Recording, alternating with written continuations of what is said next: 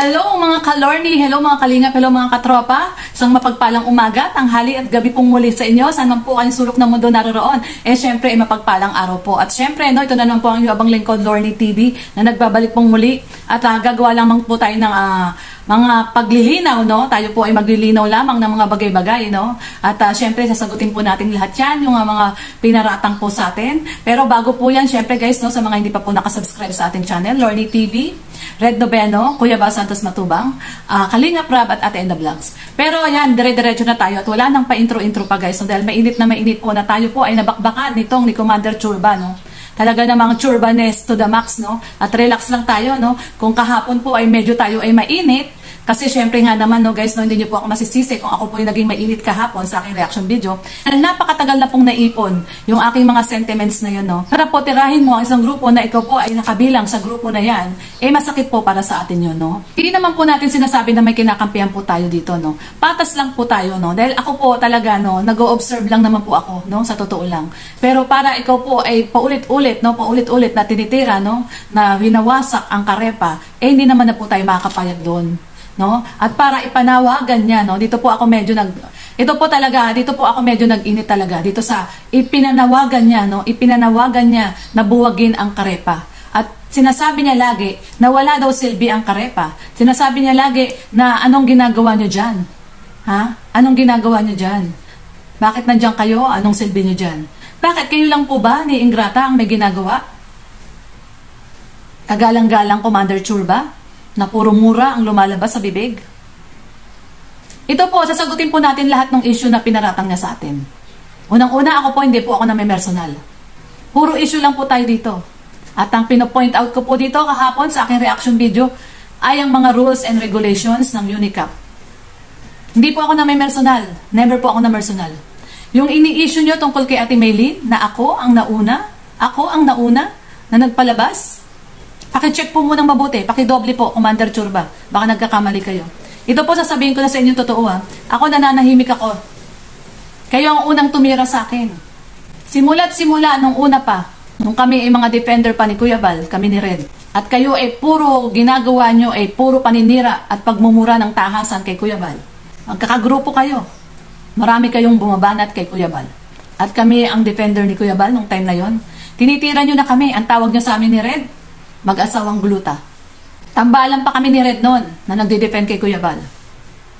Anong tawag niyo sa amin? Mag-asawang gluta? Tanong ko lang po, Commander Churba, bakit parang inggit na inggit po yata kayo sa maputi kong kutis? Kasalanan ko po ba na ako'y pinanganak na maputi? At kung mapapansin nyo, nung kami po ay pumunta dito, nung sa unang pagkakataon, nung June last year, eh nangitim po ako kakapanik sa bundok at kakasama sa pagbablog kay Kuya Bal. Dahil nga po tayo ay nag-undergo ng training bilang Kalinga Partners. Isang buwan po kami mahigit ni Red nung June, nung unang punta namin. Hanggang July. Ngayon, kung naiinggit ka dahil ako ay maputi, eh problema mo na yan. At hindi ako naggugluta. Kung ang tingin mo, ang pagiging maputi ay dahil sa gluta, ama ay nagkakamali ka. Baka pwedeng mag-research ka din muna. Hindi yung daldal ka lang ng daldal. Diyan ka lang din naman magaling eh, magnangangawa. Tinitira mo kami, personal, Pati kutis namin, ipapasok mo sa issue. Hindi ba pwedeng sadyang maputi lang kami, mga pamilya ko? Hindi ba pwedeng uh, ang mga tao naman, especially pag Chinese, di ba, maputi naman talaga? Hindi naman po ibig sabihin na ikaw maputi, eh, naggugluta ka na. Hindi naman kami artista para kami ay magpagluta-gluta pa. Issue ba sa'yo yon? Lagi mong uh, sasabihin, itong mag-asawang gluta na to, itong gluta na to. Kung sinasabi mong ring light, di po kami gumagamit ng ring light. Ay, ito, oh, nakasalamin ako, oh. Kung may, kung may ring light ako dito, nakita mo sa salamin ko, nag-reflect. Natural light lang yan, oh, bukas yung mga bintana. Pinag-iinitan mo yung balat ko. Commander Churba. Nililihis mo ba yung issue? Masyado mo na kaming pinipersonal? Dahil nalaman namin ang mga personal agenda nyo. Kaya personal na rin ang mga banat mo. Ito pa, isa pa ha. Masyado nyo akong uh, dinudurog dyan sa issue ni Ate Maylene na kumare, kumare, kumare. Ilabas nyo ang video na inalipusta ko si Ate Maylin. Ilabas nyo, reviewin nyo ang lahat ng video ko. Hindi ako nagdidelete ng video, hindi ako nagpapalit ng thumbnail. Ilabas nyo ang video ko na may sinabi ko kay Maylin na against sa kanya, na isang kahit isang word lang na inalipusta ko siya, na may sinabi ko masama tungkol sa kanya. Sinabihan ko ba siya ng malandi siya? Wala akong sinabi. Hindi ako nag-personal attack kay Maylin. Tandaan nyo yan. Wala akong sinabi. Puro advice lang ako sa kanya. Concern lang ako sa mga anak niya. At baka nakakalimutan nyo. Si Kuya Bal mismo nagsabi doon sa live ni Chris Ulo. Nakulang pa yan, Chris Ulo. Bata ang pinaglalaban dito. Siguro naman naalala niyo yung live ni Chris Ulo na masyado niya pinagtatanggol si Ate Maylin dahil masyado na nga daw tinitira at pinay-personal na. Pero pumasok si Kuya Bal sa live niya at nag-comment na kulang pa yan Chris Ulo para matauhan siya. Sabi niya, di ba? Pumasok siya sa live ni Chris Ulo at nag-message siya. Na kulang pa yan Chris Ulo. Tama lang yan para matauhan siya. Mga bata ang pinaglalaban dito. At same thing with me. Dahil kumari ko siya at inaanak ko yung mga yon, mga bata ang pinaglalaban ko. Nakita ko kung paano naghirap yung mga bata sa loob ng sampung araw walang nakakain. Ito tandaan nyo, hindi ko to sinasabi. Dahil pinamumuka nyo sa akin masyado na pinagkakitaan si Ate Maylin dahil sa paggawa namin ng reaction video. At pag-expose sa kanya na may boyfriend siya, eh pinagkakitaan namin siya. Kakamali ka, Commander Churba. For your information, hindi ako para makisakay sa issue at kumita. Siguro nga matanda ka na kasi may Alzheimer ka na. May Alzheimer ka na, mukhang nakalimutan mo na yung mga nakaraan noon. Na kayo, ang grupo nyo, ang banat ng banat kay Kuya Bal noon. Umpisa pa lang, last year. Kami nagde-defend kay Kuya, kayo banat ng banat kay Kuya Bal. Anong tawag niya sa amin? Mag-asawang gluta? Hindi namin kayo pinapatulan. Kayo nila ingrata? Hindi namin kayo pinapatulan. Never kaming nag-rebat sa inyo. Kahit nung pumunta na kami dito sa diet, nakita nyo naman, di ba? Nung pumunta kami dito sa diet, Tumutulong kami sa lahat ng advocacy ni Kuya, sa lahat ng programa ni Kuya. May mga rules na nabago. May mga revision sa rules ng mga UNICAP at Karepa. Na iba, di ba? Dati category A, category B. Pwede kami mag-vlog, pwede kami mag-group vlog. Pero nabago ang mga rules. Ang Karepa, Karepa na lang, reaction video lang. Hindi na kami pwedeng pumunta sa mga binablog ni Kuya. Kaya yung sinasabi mo na bakit hindi ko pinuntahan si Maylin, hindi na nga kami pwedeng pumunta ron. Dahil kami reaction video na lang. Yung lagi mong pinamumukha sa akin na kumari ko siya, oo, kumari ko siya. May ginawa ba akong masama sa kanya? Kaya nga sabi ko, di ba, ilabas nyo ang video na nagsalita ako ng anything, kahit isang words lang, na inalipusta ko si Ate Maylin. Masyado nyo pinamumukha sa amin na pinagkakitaan namin si Ate Maylin. Alam nyo ba yung totoong nangyari? Total naman, nilabas mo yung issue na yan eh. Alam nyo ba yung totoong nangyari doon? Si Mark, kausap ni Red, tumawag, nagsusumbong, wala silang makain. Masyado kayong naaawa kay Ate Maylin. Eh, nagpapasarap yan kasama yung boyfriend niya. Yung mga anak niya, iniwan niya doon, no? Yung panganay niyang anak, hindi alam gagawin. Walang makain yung mga kapatid niya. Totoo yun. Anong ginawa namin kaagad ni Red? Pumunta kami ng ano, 7-Eleven, nagpadala kami ng Gcash kaagad kay Mark. 5,000. Para lang may mapambili ng pagkain yung mga bata na iniwanan ng tatlong araw, na sampung araw ang kinakain toyo at puro noodles lang. Tapos pamumukha nyo sa akin na ginagamit ko, pinagkakakitaan. Hindi pa ako gumawa ng reaction video sa kanya. Sa sobrang awa namin do sa mga bata, lalo na kay Mark, na umiiyak. Nagpadala ka agad kami ng 5,000 sa Gcash. Gusto nyo ng pruweba? Pakita yung Gcash? Tapos papamukha mo, pinagkakitaan ng gusto. Kung kumari ka pa man din, sasabihin mo sa akin, pinagkakitaan ng gusto. Hindi pa ako nag-reaction video, naglabas na kami ng pera dahil sa awa namin sa mga bata. Wala pa akong ginawang reaction video nung time na yun. Nagpadala kami ng 5,000 dahil sa sobrang awa namin sa mga bata na naiiwan doon ng ilang araw walang kinakain kundi toyo at noodles. Masyado niyong pinagtatanggol si Ate Maylin doon sa mga bata na, na naiiwan, na walang kamalay-malay na mga bata, naiiwan ng walang kinakain, hindi niyo naiisip. Pinagtatanggol niyo pa yung uh, si Ate Maylin na mukhang nag enjoy naman sa piling ni Kuya Ben. Huwag niyo akong sasabihan ng mga ganong bagay, lalo na't wala naman kayong alam sa ginagawa namin. Hindi niyo naman alam yung ginagawa namin eh. Masyado mong pinamumuka, ikaw, Commander Churba, na wala kaming ginagawa eh. Masyado mong pinamumuka na ikaw lang ang kumikilo sa luglugan, kailang na ingrata. Ibig sabihin ba nun si uh, Katropang Red, hindi nag effort Kung mga pagsalita ka, para ikaw lang may ginagawa sa luglugan ni Kuya Bal. Lagi niyong pinopronta, puro pagtulong kay, Kuya Bal Santos Matubang. Kung totoong pagtulong yung ginagawa niyo, eh bakit kailangan humingi ka ng kotse? Bakit kailangan humingi ka ng kondo? Kapalit ng pagtulong mo sa luglugan ni Kuya Bal? Nga mas marami pang nabigay na package kami sa inyo eh, lalo na si Katropang Red eh. Baka nga mas marami pang na-pay in sa'yo si Katropang Red eh. Puro mga platinum pa. Alam nyo, kung talagang kayo tumutulong kay Kuya Bal, dapat hindi nyo binobroadcast. Sasabihin mo, hindi namin pinopromote si Kuya Bal. Ito nga, oh, di ba? Gabi-gabi sa live ko, pinapakita ko yung pinapainom kong juice na 1 Opti. Bumili kami ng sarili namin produkto para may uh, magamit kami at matest talaga namin yung produkto kung maganda. Gabi-gabi sa live ko, pinopromote ko yung 1 Opti. Tapos sasabihin mo, wala kaming ginagawa. At saka bakit? Basihan na ba ngayon yung pagpo-post sa community na nakakatulong ka? Eh paano kung di marunong mag-post sa community? Katulad ako, bihira ako mag-post sa community. Kasi kayo, may mga ano kayo, resources kayo na mag-post.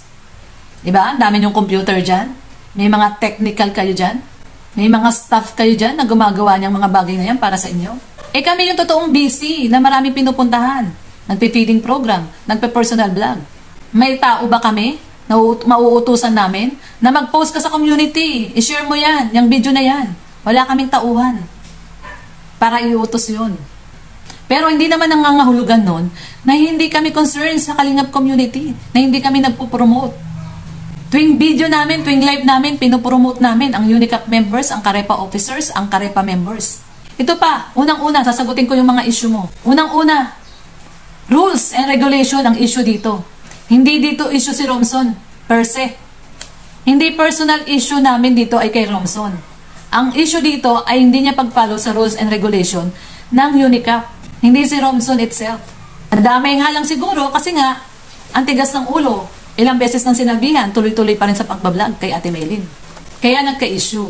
Pangalawa, hindi sinisisi sa'yo yung mababa ang views ng mga Unicap. Ang sinasabi ko kahapon, nagpe-personal vlog sila, kahit mababa ang views, still nagpe-personal vlog sila. Naghahanap sila ng matutulungan, pumupunta kung saan-saan, namumundok, kahit walang views, eh still, nagpe-personal vlog sila at naghahanap ng matutulungan. Yun ang pinopoint out ko.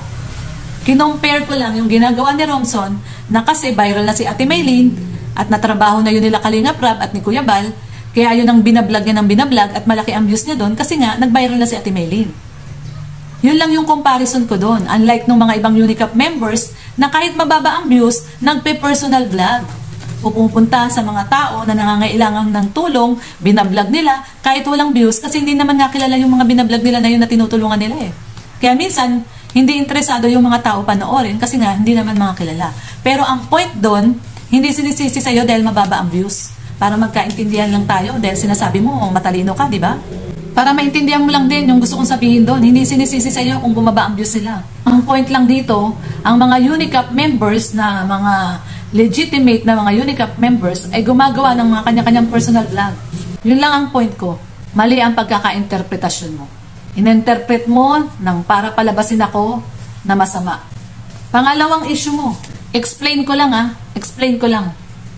Yung sinasabi mo na kami ay mga nakaupo lang dito sa mga kwarto namin at puro daldal at nawalang. Katulad nga ng sabi ko kanina, na iba na, di ba? Na iba na ang mga rules. Pinalitan na, hindi na category A, hindi na category B. Meron ang Unicap at may Karepa na. At kaming mga Karepa ay nabilong kami sa mga Kalingap reactors, no? At bilang Kalingap reactor, syempre, trabaho namin talaga dito na magbigay ng reactions video, no? Commentator, sabi mo nga, di ba? Commentator ka rin. Nagbabawalan nga kami, di ba, na mag-vlog sa mga subject ni Kuya Bal. Hindi mo ba alam yon? Hindi ka talaga updated sa mga rules and regulations ng Unicap at ng Karepa? Sa bagay, hindi naman ako magtataka kasi hindi ka nga pala kalingap. Sinasabi mo naman lagi sa mga live mo na hindi ka kalingap. Na ikaw ay isang volunteer. Pero nakakapagtaka, no? Pakialam ka ng pakialam sa kalingap. So, hindi ako magtataka kung hindi ka updated sa mga rules. Kaya hindi mo din pwedeng sabihin na lumabas ka. Puntahan mo yung kumari mo. Dahil kung pwede lang, at hindi ako sumusunod sa rules and regulations, noong ko pa ginawa. Noon na noong ko pa ginawa. Baka siguro nga kung di ako sumusunod sa rules, eh baka ako pa mismo ang nag-abot kay Mark ng 5,000 at di ko na pinadala sa Gcash. Kaso sumusunod kami sa rules. Sumusunod kami sa rules. Pangatlong issue mo, sa Kapalongga, sinasabi mo, naghirap kayo doon. Kaya pala, nagsalita si Jomart. Nagsalita na nung time na yun si Jomart, di na nakatiis, nagsalita na si Jomart. Kaya nga tinira-tira niyo si Jomart, di ba? Kayo na ingrata. Kasi nagsalita si Jomart. Anong sabi ni Jomart? Gumagawa kayo ng mga event doon? Nagpapabahay? Nagpapakain? Nagpipiding? Kasama ang mga matataas na opisyal ng barangay? Sabi mo nga, kasama nyo pa si Mayor. Pero hindi nyo daw binabanggit ang Kalingap at si Kuya Bal. Grupo nyo lang ang pinopromote nyo. Oh, di ba? Kaya nagsalita na nun si Jomart. Nagkagulo-gulo yung mga tao doon dahil nakita ni Jomart yung intention nyo. Na palaganapin at palakihin lang ang grupo nyo. O, di ba? Inutusan nyo pa nga sila doon? Na ang grupo nyo ang i-shout out at hindi ang kalingap. Kaya hindi yun nagustuhan ni Jomart. Pumalag si Jomart. Nagsalita yung tao. Kasi kitang-kita niya, di ba? Uutusan nyo pa sila na yung grupo nyo ang isa-shout out at hindi kalingap. Yun ang totoo. Yun ang mga pawang katotohanan. Kaya nga, di ba, si Jomart, umalis na doon sa Kapalongga. At nagulo ng mga tao doon, kaya nga tuluyan ng napasara yun. Yun ang mga pawang katotohanan, Commander Chulba. Hindi kami gumagawa ng kwento dito. Pang-apat na issue mo. Sabi mo, oo, totoo, makapalang mukha mo. Kasi payaso ka. Pasensya ka na ha, Commander Churba. Hindi ko minamaliit ang pagiging payaso mo. Kahit minsan, hindi kita minaliit ang pagiging payaso mo. Wala akong sinabi na dahil payaso ka lang at minaliit ko ang pagiging payaso mo. Tuwang-tuwa nga ako sa'yo, di ba? Tuwang-tuwa ako sa pagkaklawn mo. Na-appreciate ko yan kasi mahilig ako sa mga bata. Kaya nga awang-awa ako sa mga anak no ni Mailing. Lalo na nung nakita ko nang umiiyak si Mark. Walang makain yung mga bata. Hindi ko minamaliit ang pagiging payaso mo. Kahit minsan hindi ako nagsalita ng anything against sa pagiging payaso mo. Pero pasensya ka na rin kasi yun lang yung kaya kong sabihin eh. Yung makapalang muka, yun lang yung kaya kong sabihin na anything against someone. Hindi kasi ako marunong magmura eh. Nagsa- nagsalita lang ako ng makapalang muka. Napaka mababaw naman, no? At nagwala ka na kaagad. Eh paano kaya yung mga pinagmumura mo sa live mo? na kung murahin mo, akala mo, palamunin mo sila. Paano naman kaya yon Commander Churba? Aminado ka, napalamura ka? Pero ano, defense mechanism mo lang yun. Naamin ko, palamura ko. Pero hindi lang naman pagmumura yung issue sa'yo eh. Kung paano mo sigawan, murahin, at salisalitaan ang kung ano-ano yung mga kalaban mo. Kaya nga nag-react ako eh, kahit hindi mo naman ako direct na minumura nun eh. Pero para sabihin mo na hindi ko mabanggit yung mga pinagsasabi mo, pasensya na, pero para mura-murahin mo sila Nets and Vlog, si Bopel at si Sangkay, at ipangalandakan mo sa live mo na pinagsisigawan mo na buwagin ang karepa, eh nasasaktan ako doon. Dahil kasama ako dito sa legit na group na binuo ni Kuya Bal na karepa na to. At ginawa rin kami ni Kuya Bal na officers. Ano bang pinuputok ng butsinyo? Kasi hindi kayo napasama sa karepa officers. May nakapagbulong sa atin eh, na kaya daw kayo naggagalaite kasi hindi daw kayo sinama ni Kuya Bal na maging officer. Eh di, kami naman open kami sa Karepa officer eh. Napag-usapan na namin yan eh. Bumaba kami ng pwesto, bababa kami ng pwesto. Kung gusto nyo, bababa kami ng pwesto, bababa kami. Gusto nyo kayong pumalit, maging presidente ng Karepa? Pwede naman eh. Sabi ko nga sa inyo noon, di ba? Kausapin nyo lang si Sangkay, madali kausap yan. Nakikita nyo ba na napakalaking balakid namin sa inyo mga Karepa officers at mga Karepa members sa mga personal intentions at mga plans nyo na napabaksakin ang kalingap? Hindi namin kayo sinisisi. Walang naninisi dito. Nakikita lang ang katotohanan at lumalabas na ang katotohanan na simula't simula pa, minumura nyo si Kuya Bal sa mga vlog nyo at sa mga live nyo. Sinisiraan nyo si Kuya Bal. Ultimong pagbigay ni Kalinga Prab ng motor kay Supermac, kinontent mo, di ba? Ultimo mga properties nila Kuya Bal, mga sasakyan, lupa, bahay ni Kalinga Prab. Kinontent mo, di ba? Baka nakakalimutan mo na yung mga pinagsasabi niyo noon kay Kuya Bal. O sadyang may Alzheimer ka na nga talaga, Commander Churba. Matanda ka na, may Alzheimer ka na. Kasi ang tanging naaalala mo lang ay ang puro magagandang bagay na ginagawa mo ngayon para kay Kuya Bal. Pero yung mga bagay na ginawa nyo noon, eh, hindi mo na maalala. Ano ba talaga ang plano? Lumaki ba yung community nyo sa paninira nyo kay Kuya Bal? Hindi. Lumaki ba yung community nyo nung pinagmumura nyo si Kuya Bal sa mga live nyo? Hindi. Nagsilakihan ba yung mga views nyo nung tinitira nyo ang mga defender ni Kuya Bal? Hindi. Lumaki ba ang mga subscribers nyo nung tinitira nyo si Kuya Bal at mga defenders ni Kuya Bal? Di ba? Hindi naman. So, anong nangyari? Change of plan. Change of plan, di ba? Dahil hindi kayo lumalaki at hindi nababago ang mga views at subscribers nyo sa ginagawa nyong pagtira kay Kuya Bal, change of plan kayo. Pasukin natin ang kalingap. Magkunwari tayong kakampi. At nakakita kayo ng opportunity nung namatay si Lola Damiana, pumasok kayo. Na-penetrate nyo buong kalingap. Ang dami nyo nang nauto at nalason. Lumakas na ng gusto ang grupo nyo. Ngayon, pinipersonal nyo ako kasi nakita na namin ang personal agenda nyo. Nung pa, umpisa pa lang, yan ang plano nyo. Last year pa, yan na ang plano nyo. Hindi nyo napabaksak si Kuya Bal noon sa maliit nyong grupo, hindi nyo kinayang pabaksakin, hindi nyo kinayang sirain. Pati mga defender niya noon, sinisira nyo. Mas bilib pa nga ako kay Rampage eh, kasi si Rampage na nahimik na. Pero kayo na magkakasama noon, gumawa kayo na ibang plano. Pasukin nyo ang kalingap. Dahil walang nangyari sa pagtitira nyo kay Kuya Bal at sa mga defender ni Kuya Bal. Nag-penetrate na kayo sa loob ng kalingap. Nakakita kayo ng butas nang, na, nang namatay si Lola Damiana, eh sinamantala nyo. At nakapasok na kayo ng tuluyan sa kalingap. Mas maganda ang kilusan nyo ngayon dahil nandito na kayo sa loob. At iniisa-isa nyong tanggalin yung mga balakid sa inyo. Pasensya na, Commander Churba, pasensya na. Kasi nasama ako ni Kuya Bal dito sa Karepa Officers. At itong Karepa ay binuo ni Kuya Bal itong grupo na yon. Itong grupo na to ay binuo ni Kuya Bal. At tahasang pambabastos ang ginagawa mo para ipanawagan na buwagin ang Karepa. Si Kuya Bal ang nagbuo nito. Si Kuya Bal ang gumawa nito. Ngayon ipapanawagan mo na buwagin ang Karepa? Ano ba tingin mo sa mga miyembro ng Karepa? Mga mananahimik na lang? Hindi magsasalita? Para sabihin mo, buwagin na yung karepa na yan, mga walang silbi naman yung mga officers niyan at yung mga miyembro niyan. Anong ginagawa ng karepa na yan? Ipapanawagan mo ba yon? Tahasang pangbabastos ang ginagawa mo kay Kuya Bal. Grupo niya to, siyang gumawa nito para ipanawagan mo na buwagin. Tapos ipamumuka mo na tinutulungan mo si Kuya Bal ngayon sa luglugan. Tinutulungan mo nga kasi may malaki kang intensyon. Gusto mong magka- magkaroon ng kotse. Tumutulong ka sa luglugan pero ang kapalit, kotse. Tama po ba? Tama po ba yon? Na ipagsisigawan mo sa buong Kalingap community na wala ka nang ginagawa kundi tulungan si Kuya Bal sa luglugan. At sinisisi mo pa kay Kuya Bal ang pagbaba ng views mo kasi hindi mo na nahaharap ang channel mo dahil sa kakaasikaso mo sa luglugan. Pero ang hindi alam ng mga tao na nakakapanood sa iyo, tutulong ka sa luglugan pero nang hihingi ka ng kotse. Kotse ang kapalit.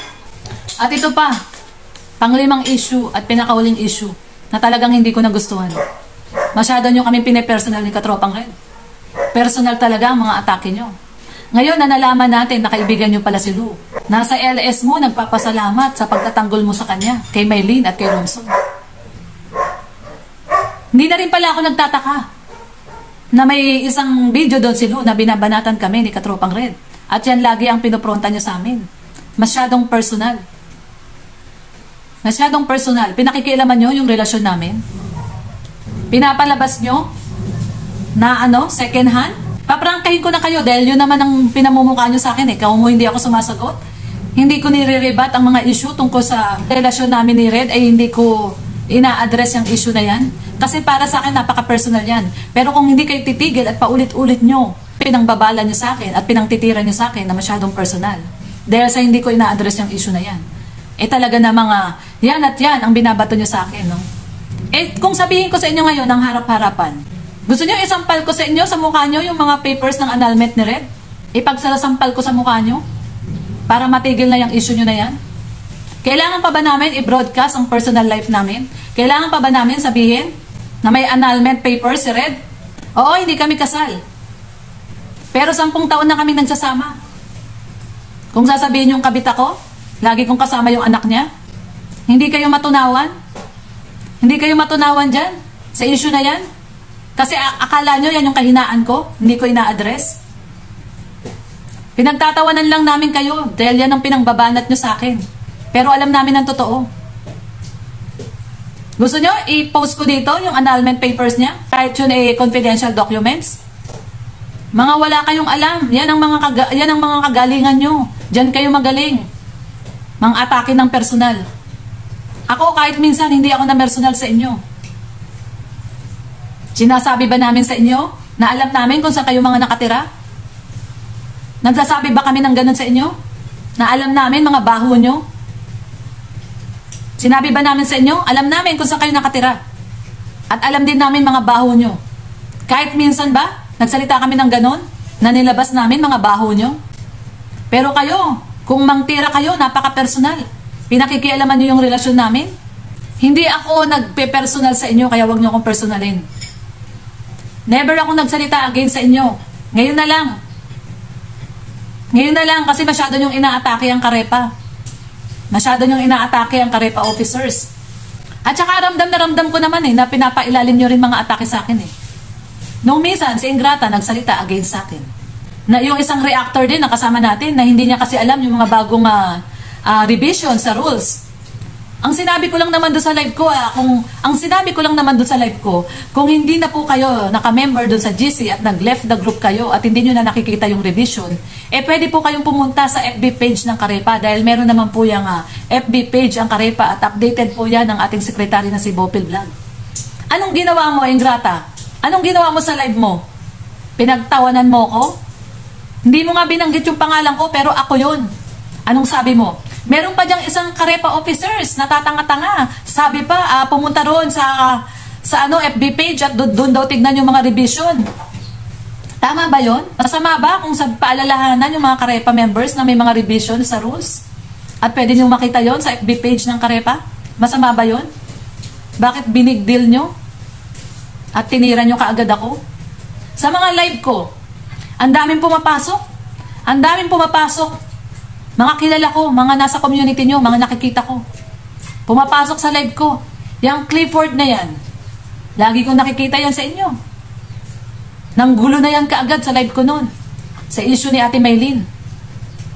Pinapalabas nyo, sinisiraan si Ate Maylin?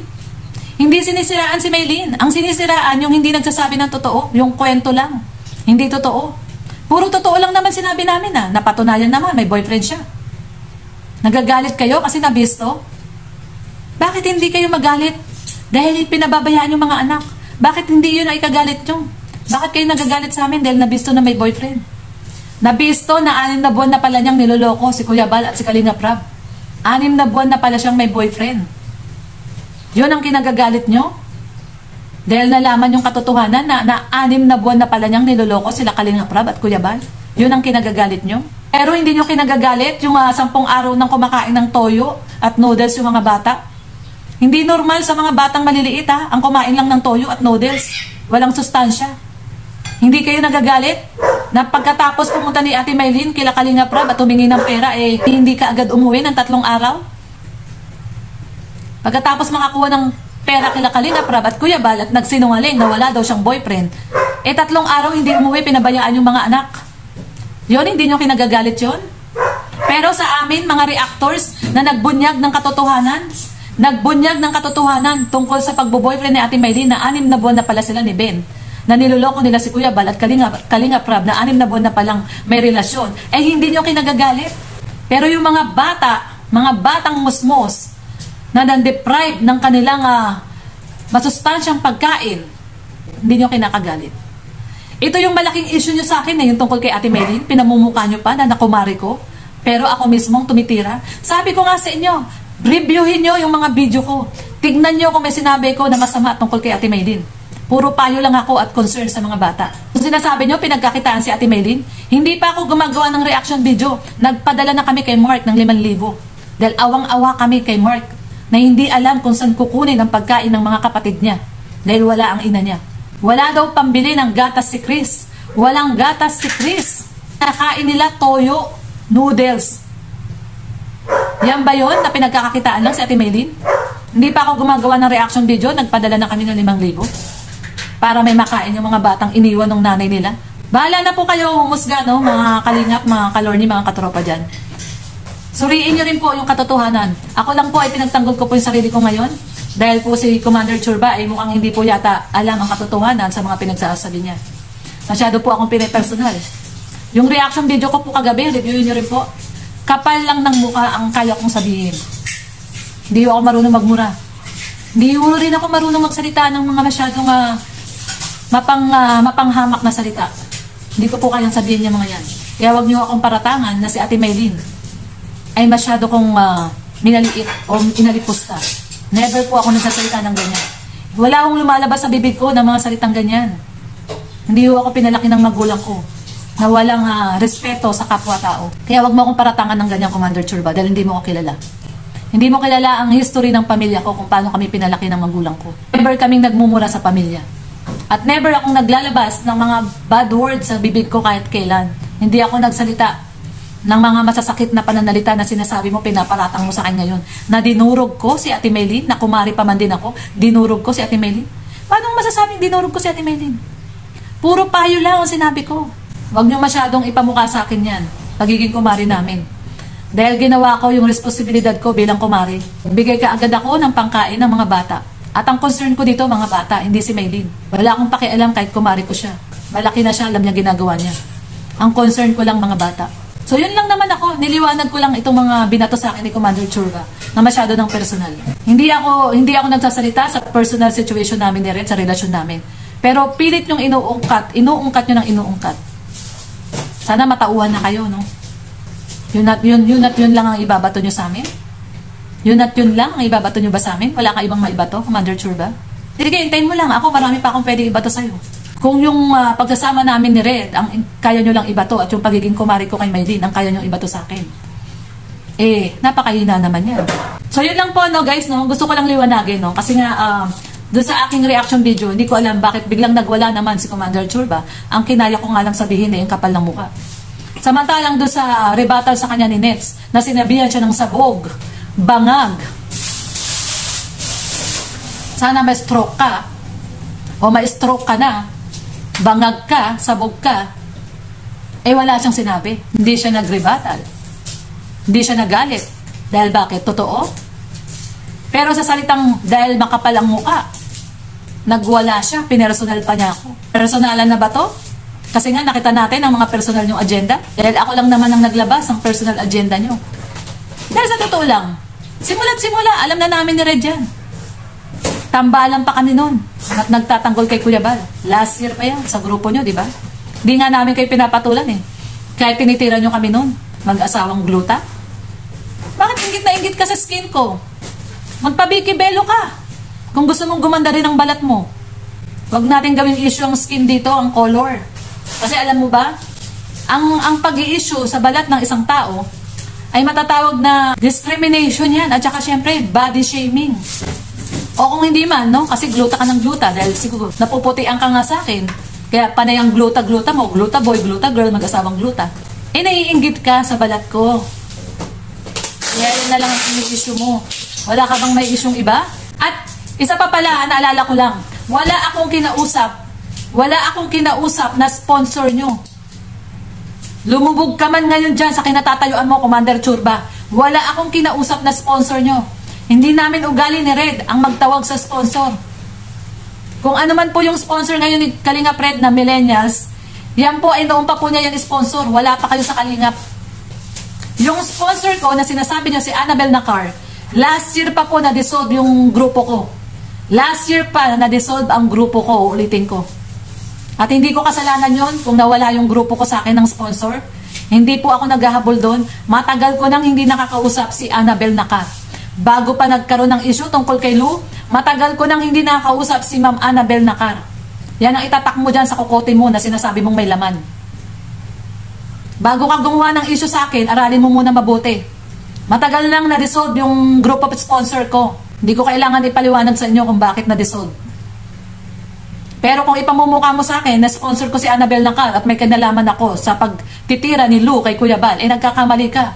Patunayan mo yan. Patunayan mo ng ano yan, ng uh, may hawak kang ebidensya. Baka magkabaliktaran tayo dito. Ngayon, ituturo mo ako? Igagamitin mo si Annabel Nakar laban sa akin? Dahil nakita sa live nyo ni Ingrata, si Lou, na nagpapasalamat sa pagtatanggol mo sa kanila? Sa kanila, ni Maylin at ni Robson? Ngayon, ang ituturo nyo, ako. Ang galing nyo din naman talaga mang twist ng istorya, no? Ituturo nyo ako, sponsor ko si Annabel Nakar. Dahil nabisto kayo na si Lou eh nasa LS nyo at nagpapasalamat sa inyo. Ang galing nyo rin. For your information, Commander Churba, ulitin ko kasi alam ko may Alzheimer ka na. Matagal na akong walang contact kay Ma'am Annabel Nakar. Matagal nang wala akong communication sa kanya. Kaya bago pa sumabog yung issue ni Lou, wala na akong communication sa kanya. Kaya wag mo kong ituro sa mga ginagawa niyong mga kabalbalan. Dahil lumantad ang katotohanan, nakilala niyo pala si Lou at beshi-beshi kayo. Si Annabel Nakar naman ang ipanglalaban niyo sa akin. Mahiya naman po kayo sa balat niyo, uy. So yun lamang po ah, naliwanag na po natin lahat ng issue dito. Kaya wala kayong pwedeng itapon sa akin. Huwag ka masyadong magmalinis, Commander Churba. Hanggang dito na lang po guys ha. Ito pong muli ang inyong bang lingkod Lorny TV.